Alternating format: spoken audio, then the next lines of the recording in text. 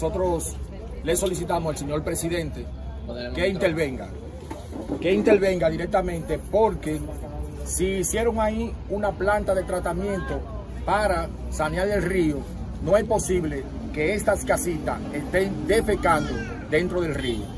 Queremos la intervención del señor presidente y cualquier cosa que pase aquí, responsabilizamos al ingeniero Rafael Antonio Santos, director de los PRE, que con él fue que hicieron el compromiso en aquel entonces.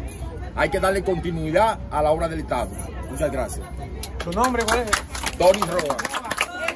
¿Qué tiene que decir? Ah, no, eh, eh, se convocó esta rueda de prensa, la iglesia evangélica, la iglesia católica, la junta de vecinos y todos los comunitarios del sector, porque queremos que esos apartamentos que están construyendo ahí, que por favor tomen en cuenta esta familia, que tienen 18 años aquí, que la UPRE construyó esto de manera provisional, y esas casas no aguantan más. Estas están a punto de caerse, y son 46 de 42. De esas 42, Fellito dice que tiene 16. Nosotros queremos hacer un llamado al presidente de la República, porque solamente él tiene la facultad para darle una orden a Fellito para que rectifique el proyecto que él tiene de traerle gente de la Cañada de Herrera, de Guajimía y de otros sectores de Arroyo Hondo. Pero queremos que el señor presidente tome en cuenta eso. ¿Tu nombre? Francisco Reyes. Él la en ese entonces, pero no fue en 56 familias que desalojaron del hoyo La Sursa. Ellos desalojaron 197 familias, de las cuales solamente reubicaron 81. Los otros están, algunos aquí, y los demás con un papel deambulando y viviendo en casa de familias, familiares y alquilados, porque algunos le alquilaron dos o tres meses.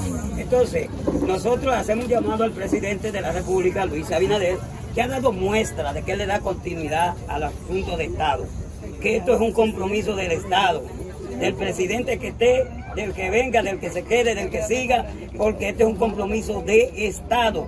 El metro está ahí, se amplió, se hizo otra línea y se está ampliando. En cambio, estas familias todavía están aquí con una casita muy vulnerable que de cualquier visita se van a caer todas y le van a caer encima. Nosotros no somos propiciadores de invasión ni de ocupar cosas que no hayan sido entregadas formalmente. Por eso estamos las iglesias aquí, está el Padre Josolito y la comunidad. Ahora bien, nosotros hacemos un llamado al presidente porque él tiene que darle una orden al señor Fellito que tiene unos compromisos con unas cañadas que él va a intervenir. Y él dice que esos, esos apartamentos es para cuando tenga una intervención, que haya casas que tenga que desalojar, traerlo para acá.